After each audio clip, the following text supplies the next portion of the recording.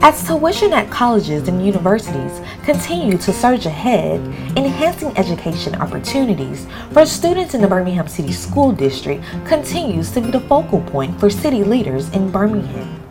Pro Tem Councilor Steven Hoyt continues to be an advocate as he furthers his efforts in providing scholarship funding to students through Education with a Purpose. Originated from his annual Party with a Purpose, Councilor Hoyt launched Education with a Purpose in 2013 to promote academic excellence among youth in the community.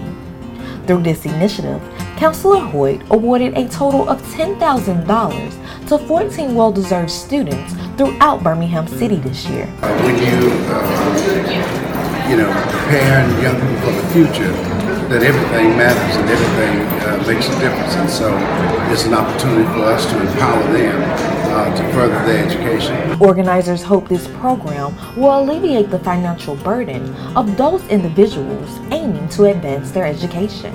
It, this does a lot for the students. One, it lets them know that people care about them.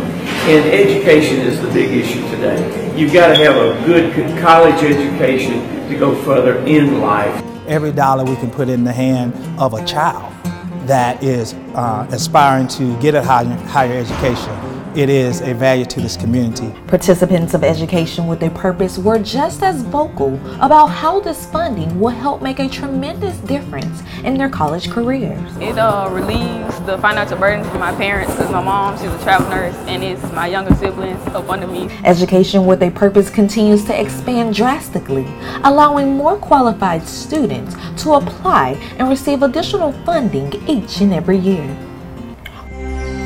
For all the latest news and information, connect with our community or visit our website and subscribe to news updates.